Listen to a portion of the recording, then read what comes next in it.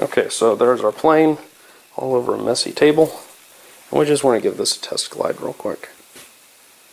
And that's kind of what we want to see. The um, wing wash is pulling it off to the right.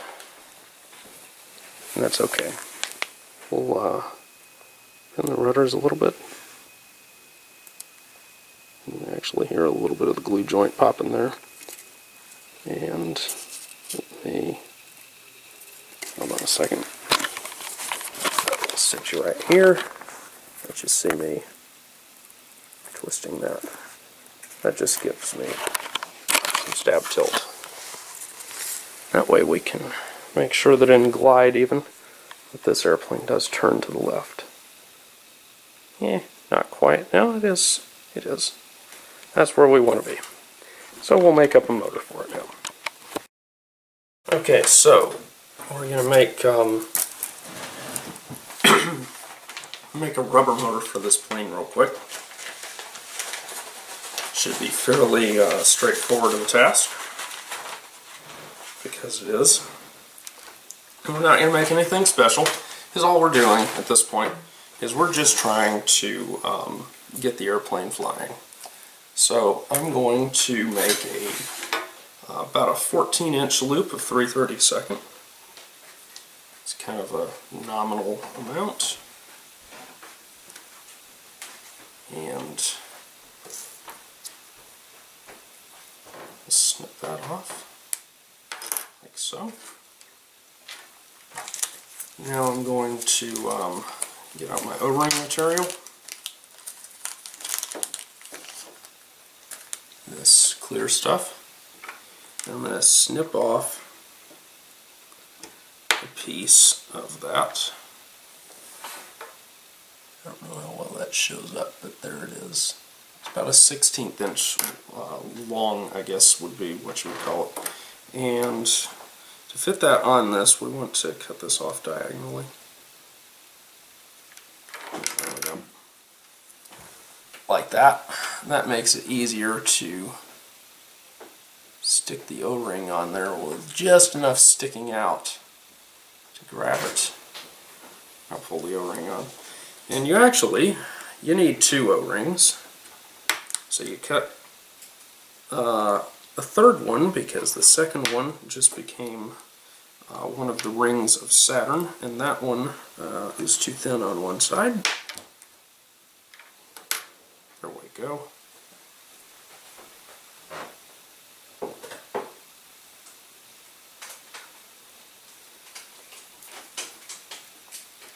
So now we're just going to bring this together.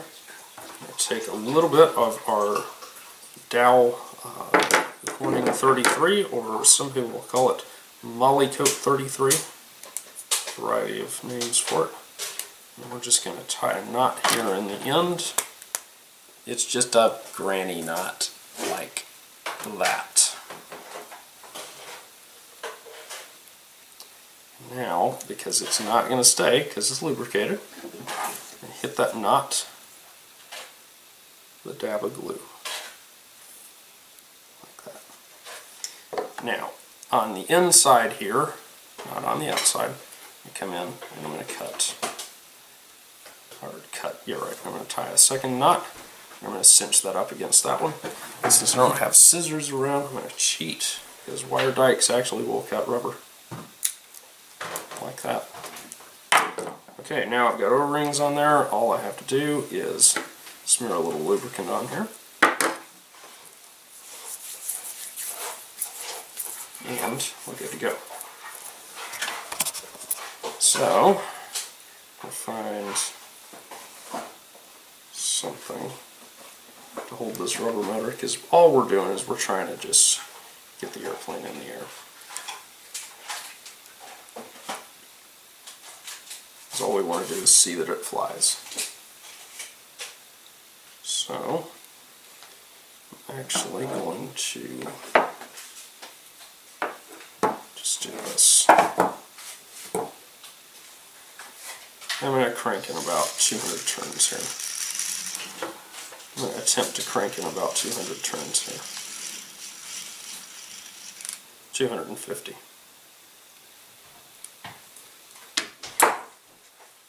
Obviously, this is not the preferred way to do this, but it's a weekday late at night. Alright, so I'm going to slip my O-ring on the back. There we go. And everything turns freely, looking good. Apologies for the tea being cooked in the background, but okay. I'm going to switch hands, so I'm going to do this right-handed. And so we've got left thrust, we got all that, everything looks good. We launch the plane, and whomp! Okay, so what went wrong? A couple things that went wrong. So let's take it back over here to the table. So the first thing is the airplane torqued in, and that means actually that uh, the real problem is it twisted off the front post. So let me glue that back and then we'll be back. Okay, so if you look real closely, you will see that I went ahead and I just eliminated my wing twist. Just, just uh, because I think it's excessive. Now the other thing is the airplane did start diving in.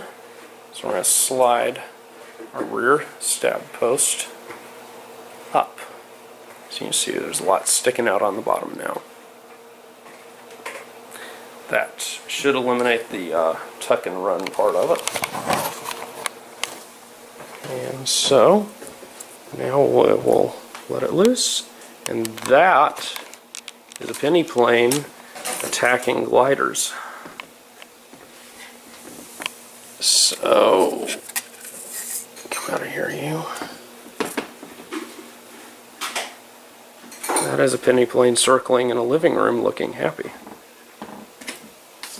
And coming around to attack Class D gas model. Looking happy. Beautiful. Ooh, a little bit of a dive there at the end. I think it just needs more up trim. So I'm going to come in here.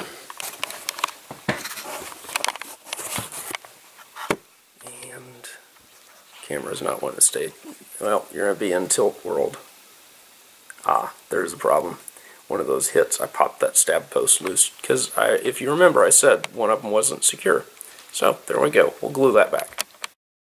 Okay, so I slid the stab even. Oh, there we are. Even further up on the post. And we've just got a few winds remaining, so we just want to make sure the plane's being happy there. It's flying a little on the nose high side. However, for most of you, that's where you're going to want your penny plane to be. A little stall, but oop, bloop. okay, so 300 turns on the penny plane, and here it goes. And takes off real nice like if anything, climbing a little fast.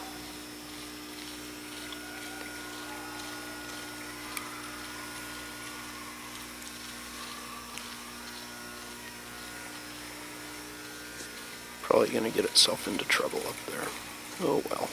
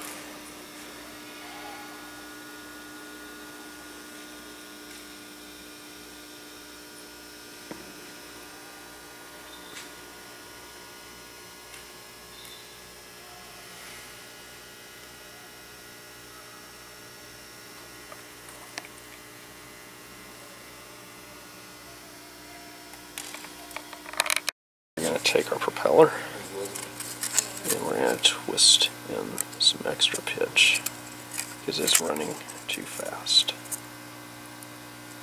Like that. So let me see. Alright, here goes. Yes. Well, no, it's a, uh, yeah, basically.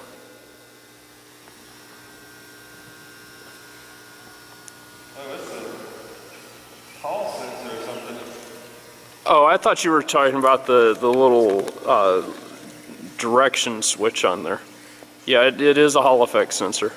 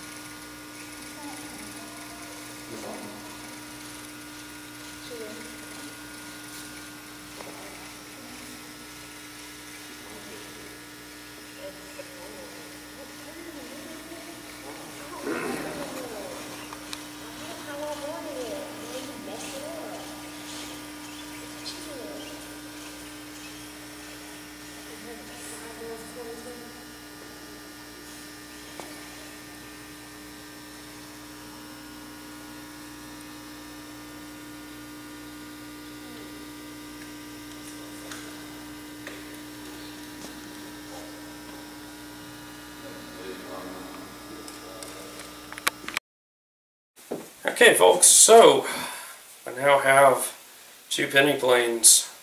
First time in a long time I've had two. Um, so you have finished watching the build series for the Noncents penny plane from J&H Aerospace with huge thanks to Bill Gowan for paving the way for such an awesome piece of technology. Uh, final weight for this aircraft is 3.6 grams. Uh, the kit versions will be a little lighter because we're going to supply you with um, thinner, lighter motor stick.